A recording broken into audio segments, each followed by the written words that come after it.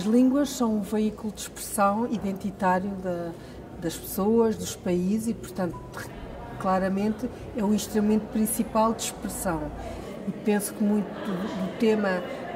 desta conferência e também da, da, da, da, daquilo que se perspectiva em relação ao futuro da, da OEI é também como valorizar a língua não apenas dessa, dessa forma de expressão identitária, mas também como instrumento de diplomacia, como instrumento de valorização económica dos nossos países, das nossas comunidades, como eh, afirmação também da expressão eh, das, várias, das várias comunidades, porque, sobretudo, a América Latina